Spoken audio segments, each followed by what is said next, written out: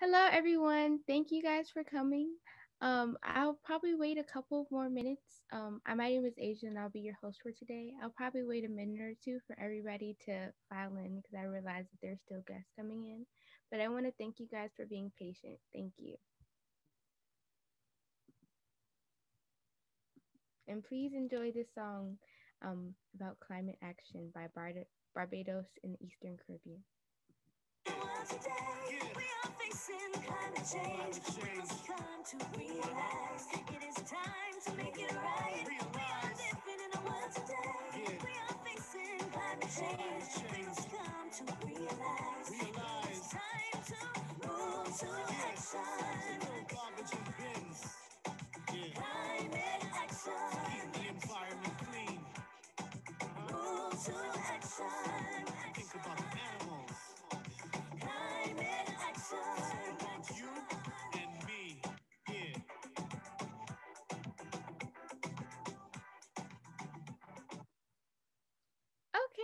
I hope you guys enjoyed that song as much as I did. Uh, my name is Asia, and I'll be your host for today. And I want to thank you guys for coming to this student forum. It's very important that our youth voice is heard. Um, so thank you guys for coming. I also want to know if you are in need of Spanish family um, translation or interpretation, um, there will be a section where we will send you guys to breakout rooms. So stay in the main room if you would like any translation services. And without a further ado, I'll get started. So, one second. What happened? Okay. So, what are you guys here for today? What is Prince George's County Public Schools Climate Change Action Plan? What does that mean? So, we're a focus work group within the Board of Education who are proud to be at the leading edge in committing to climate solutions and for exploring innovative approaches to reducing our impact on the planet. So as you guys may know, climate change is one of the world's most pressing issues. So PGCPS decided that we wanted to get ahead of that issue and try to find ways so we can reduce our role in, you know, climate change and so that we can help our planet. Um, we are honored that you guys are all here today um, to support and share your insight in order to make this climate change action plan a reality and an inclusive reality now that your voices are heard. So we hope that our efforts will lead to healthier buildings, cleaner fuel and transportation options, healthier and sustainable grown food for our children, reduction of our overall carbon footprint, and ultimately a plan that will help us um, focus our limited resources more equitably. And this is why we need you guys so much. We had the student forum first before anything because we wanted to hear from the students themselves. A lot of the changes made in this plan or a lot of the innovations made in this plan will directly affect us first. So I wanted to make sure that our voices were represented. So as you can see to the left, we have our guiding principles that we follow while the, during the course of this plan. So during this event, we're focusing on all of them, but most importantly, um, inclusivity, making sure that you guys' voices are heard and that we're bold and ambitious so we can hear your ideas. So during this event, feel free to share your ideas and feel free to unmute and talk with our moderators throughout this event so that we can hear your bold and ambitious ideas. Don't be scared. We we want to hear it all. So we are young voices and this is our future. So I'm happy that you guys are here to contribute.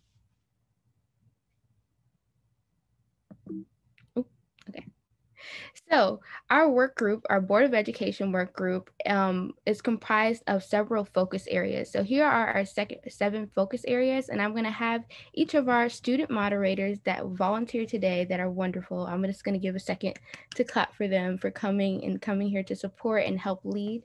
So I'm going to give um, the floor to Haley Brown to introduce what the Building, Construction, and Maintenance Operations um, focus group is about. Hey, hello. My name is Haley Bowen. Uh, sorry. Uh, I go to Academy of Health Sciences and I am a freshman. Uh, so for the building construction maintenance operation, uh, one of the solution is to upgrade the energy efficiencies and that includes upgrading the heating, air conditioning, water heaters, cooking equipment, and upgrading to energy saving materials. And also want to improve the energy efficiencies of the roof. Some Some solutions would include solar installation and reflective paint. And another solution here, here is uh, battery backups and storage, which will be used for storing energy from the service solar panels during off hours and providing backup for when power goes out. And last solution, this is to fix the mold and heat and humidity problems that will also affect the health of students, teachers, and staff. Yeah. Okay, so now I'm going to give the floor to Maya Miller to introduce the electricity focus um, area. Hi guys, it's nice to be here today. My name is Maya Miller. I attend Eleanor Roosevelt High School and I'm in the Environmental Defense Club. So for mission two, which focuses on electricity, the power purchase agreement, which in short is PPA, for wind and slash or solar produced energy from offsite locations, PPAs are signing a contract to have an electric company provide electricity from wind, solar, or other specific resources. Thank you.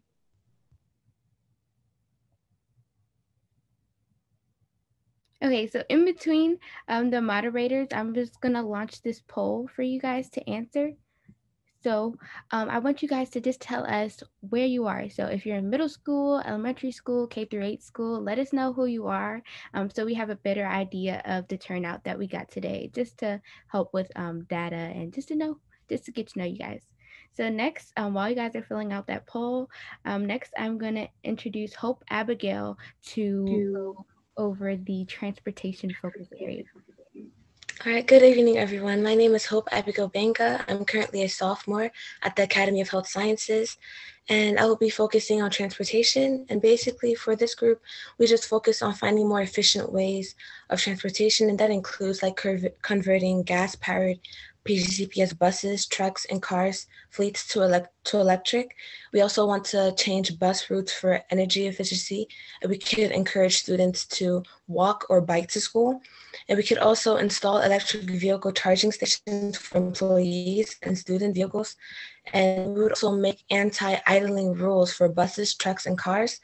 And Lastly, we could also send vehicle we can also send vehicle, battery energy to the grid. And this would be good because batteries in electric buses and other cars can send power back during the during the hours where people are just using more electricity, which is also during the summer. That sounds amazing. That sounds absolutely amazing. Those changes, I don't know if I want to bike to school because, yeah, I'm a little lazy, but I definitely support that as a potential idea.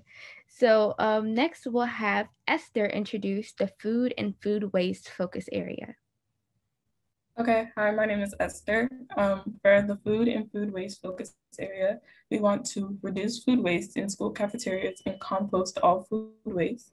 We also want to purchase foods for the cafeterias that are lower carbon diet, such as less meat and more vegetables. And lastly, we want to reduce food packaging waste from the purchased food and the packaging and serving of student meals. And next, let's have Jennifer go over the materials and waste cycles focus area. Hello, my name is Jennifer, and for Mission 5, Materials and Waste Cycles, we want to reduce the materials that come into the school buildings as well as used in the buildings, such as plastics, packaging, and printing. And we also want to maximize the recycling of paper and all recyclable materials, as well as reusable items such as school uniforms. And then next, let's have Miss Jessica Watts introduce the storm, water, and land management focus area. Hi, everyone. My name is Jessica Watts. Um, I go to Friendly High School and I am a junior. And for this focus group, group for storm, water, and land management, we want. Oh, Jessica, you're on mute. Jessica, you're on mute. I'm so sorry. it's okay. Um, just start from the top about what the work group is. Okay, so for this work group for stormwater and land management, we want to make stormwater improvements on all school grounds to diminish flooding and runoff into Chesapeake Bay. We want to plant trees on PGCPS land. And lastly, we want to improve the grounds with native, native plants and gardens. And last but not least, let's have Ms. Sydney introduce the education and awareness focus area. Education awareness focus area. Hello, everyone. My name is Sydney Hassan, and I am a science and tech student at Flowers High School. I am also a freshman. Um, the education awareness, some solutions we have is to make climate education a priority in all K through 12 subjects and areas in educational integration. Um, we would also like to add climate to the STEM programs and career and technical training curriculums. Um, make climate action connections with Kirwan commissions and recommendation. Also, there's a blueprint for Maryland's future bill that was passed by Maryland legislators. This bill will increase funding into high concentration of poverty schools and mostly residing communities with many other environmental and health disparities. Um, we would also like to incorporate climate action at schools and at home for staff and students as well. PGCPS will lead the broader community in education on climate change. Thank you.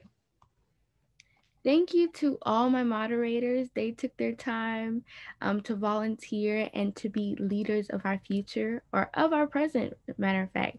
So I thank you guys for coming out. And just a final reminder, if you didn't fill out the poll about your school level, um, that's fine. But if you can, just um, fill it out so we know where you're coming from. And I see that majority are high schoolers, but we do have some middle schoolers in the building. So shout out to y'all, because I know in middle school, I wasn't thinking about this. So I'm happy that you guys are being so mature and coming out um, and hearing about this and being a leader of your present. Um, so the next poll that I'm gonna um, throw out is uh, just a question about your baseline knowledge about your climate. So there's no wrong answers about this. Please, please don't um, don't think that this is like a quiz or something. This is not school. This is a safe space. So we just want you guys to to give your perception about what you think produces the most greenhouse gases. So whether that's cars, trucks, and buses, airplanes, power plants, factories, agriculture and farms, or food waste, just let us know what you guys think. And like I said, there are no wrong answers.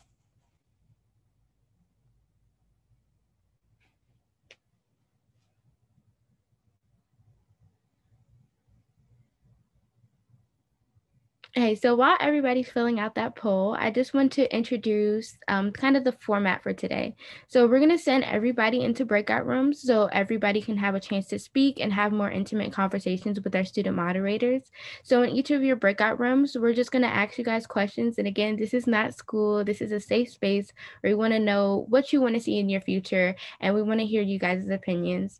So I know this goes without saying, but just as a rule, make sure to be respectful and follow um, PGC CPS guidelines um, for computer usage while we're here. This is a Board of Education event, and we want to make sure that this is the safest space possible and that everybody's opinions and ideas are respected. So, in a couple of seconds or a couple minutes, we're going to send you guys into the breakout rooms um, for 15 minutes just to have intimate conversations and um, talk with your student moderators, and they'll ask you some guiding questions about what you want to see in your future, how you feel PGCPS has addressed um, climate needs needs and um, education needs as far as climate and environmental studies go, among many other topics. Um, so they're going to send you into some breakout rooms soon. I'm not exactly sure when, but um, also, if you are here for Spanish interpretation, just reminder that stay in this room. If it sends you to a breakout room, you can look at the bottom of your screen, like here, it'll say leave room. Don't click leave the meeting, click leave the room, and then you'll be able to stay in the main room and have that family, um, Spanish family interpretation discussion um, there. Hello, everybody. Welcome back. I hope you guys had some really engaging and in-depth um, conversations in your breakout rooms, and I hope you had the chance to um, share your ideas and respond to the questions in a manner that you may like. So without a further ado, I will pass the floor to Sydney. Is Sydney back in the room? Yes. Okay, so I'm going to pass the floor to Sydney so she can report back what she talked about in her breakout room. So in my group, we talked about many things. Um, we actually answered almost all the questions. Um, something, the first question with education and how it is affecting students um, at school was the blacktops being ruined by rain and kids not being able to go out for recess was an issue. Also, um, early in the spring, going into the summer, the heat waves um, people were experiencing while going to school, knowing that um, the PGCPS turns on the air conditioning and the heat at different times of the year. So they may not they may not always align with what's going on with the weather. Um, also, um, they wanted to create different things to do while we're at school, which is the recycling clubs, also um, building maybe victory gardens. Um, for people who were rating how they feel like PGCPS taught students on climate action, there was a lot of, there was one nine, a couple sixes, and a seven. So I think it's mixed variations of what people think climate action um, is doing in PGCPS um, as a county. And that's all. Thank you. Thank you so much, Sydney. And then I'm going to pass the floor to another student moderator, um, Jessica. So share back what you guys um, talked about in your breakout room. So in our breakout room, we had some really good conversations as well. Um, I quite frankly really enjoyed it. And one of my favorite ones was the question about what should the county focus on? What mission should they focus on? within the next few years. And one of my favorite ones was one of the um, attendees said that instead of focusing on just one, there should be subcommittees for each different, you know, mission, and it should all be focused on rather than putting our attention just on one. So that was one of my favorites, and one of my main takeaways from that. And then I also want to mention when it comes to the scale um, it was mostly five, it was, I think it was five, sixes, and sevens. So a lot of them felt like it was more so like the school system, especially in sciences, is more about chemistry and less about the environment. So it's shying away from what we really should be focusing on and more so onto the chemical and physics and all of that kind of stuff. So that's what I like the most and what I took away from that breakout room. So thank you. I just want to acknowledge um, and appreciate your transparency. So I emphasize that this was a safe space because for especially that rating question, I wanted you guys to be as honest as possible because this is for the work groups. It's our job to acknowledge these ratings and see areas where we can improve. So I would like to thank you guys for being transparent with that question. I think I have one room for one last moderator to share. So can, let's see who can share let's have Haley share. So Haley, go ahead and share what you learned in your breakout room or what you guys talked about. Okay, so got a lot of interesting responses. Uh, one of the ones that I did like is how the students can like contribute and stuff. And so one of the answers that I got is that the students should just be staying informed, advocating for themselves, and bringing these issues in the light because more people that know know and care about the issues the more likely action will happen. So and another interesting point was was how climate change would affect the schools and learning. And one of the responses i got is, is that we may run out of resources. And if we run out of resources, then we can't like go into the building and learn and, and we won't be able to do certain things that would like help us learn. So, so yeah. And also for the reading question, we got like a five and somewhere around like one and five. Uh, felt like PGCPS was kind of like not interested in climate change in the past, but like now they're interested in we're getting there, but you could have done this in the past and stuff. And that's all. Thank you so much, Haley, and to all my student moderators. Again, I know I'm a little bit annoying with these thank yous, but I really want to thank you guys because, you know, it's so easy to just shut down the computer. And I'm appreciative that you guys came after a long day of school and decided to log on and be a part of our future. So I want to thank you all. So without further ado, I'll be launching our last poll. Okay, yes, our last poll for today. Let me launch that really quickly. Okay, so we want to know what are you most inspired to work on at school? So here is what our PGCPS future could potentially include. More composting, green roofs, native tree planting, the sky's the limit. So I want to know after today, um, what are you inspired or what are you set on working towards? Um, so the categories are energy use, composting, um, materials recycling, peer education and advocacy, tree planting, and legislative lobbying. So let us know how you feel, and this will give us a better idea of what students want to see in our future.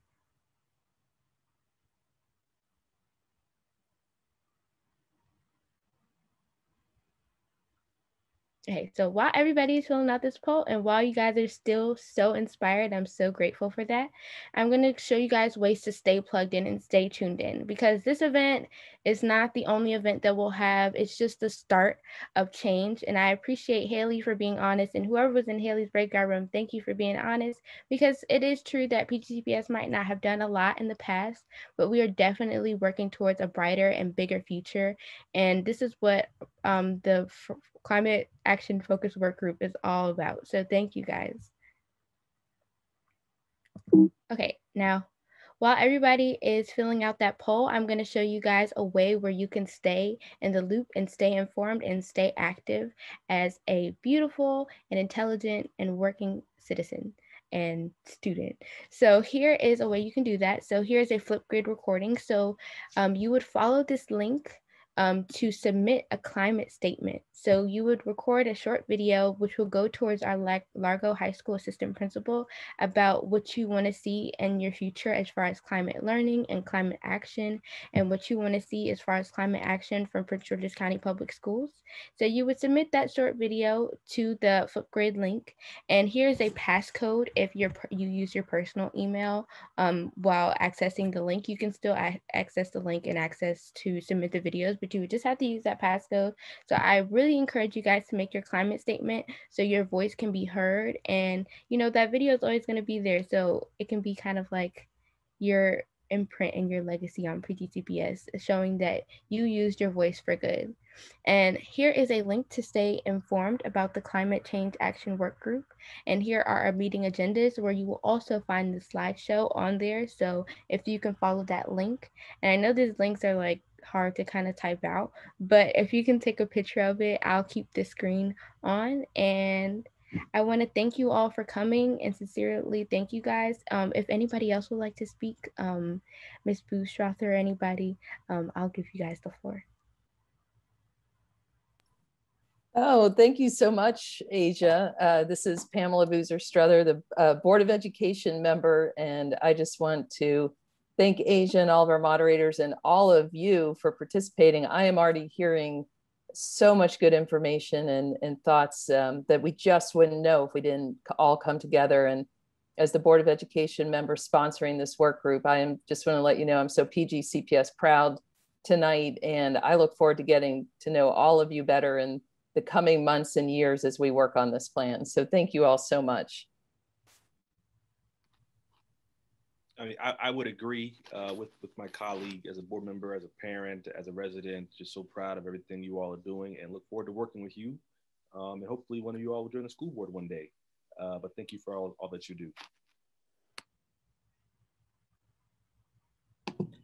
I actually wanted to get on and extend a big thanks to Asia for extending this invitation and for all the moderators here today to really just put this truly important event together for our students I think we're taking those first steps of informing our students and taking the first step of tackling climate change in PGCPS. Um, I'm Alvarez Ron Rees, and I have the privilege to actually be your next student member of the Board of Education. Um, today, I really joined this event because I think to really be able to, I guess, voice the voice of students on the board, I have to understand issues are important to students. So climate change, And so I'm so thankful for Asia for putting this together for the climate change work group and all the work you guys are doing. So thank you. Yep, and by the way, that is our next student member of the board, Alvaro. So remember his name because he is our student advocate, serving on the student member of the board, making our voices heard. So it's very important and very grateful that he's here today, um, even before he gets in office, to just hear students' opinions. So he knows exactly what to do when he's in office, and so he can advocate for all of us. So if anybody else doesn't want to speak, um, this is the end. So thank you all for coming. I want to say thank you, thank you, thank you a thousand times for coming. I didn't expect this turnout, so I'm very surprised and excited and happy that all the students came here today. And like I said, this is the first event of many. Um, we will continue to keep students in the loop. So make sure you submit your climate statement and that you um, stay informed about the climate change action uh, plan focus work group um, using that Go Board link where you will see our meeting agendas and you can see recordings of our meetings if you would like to watch. Um, so thank you guys for coming and I hope you guys have an amazing day.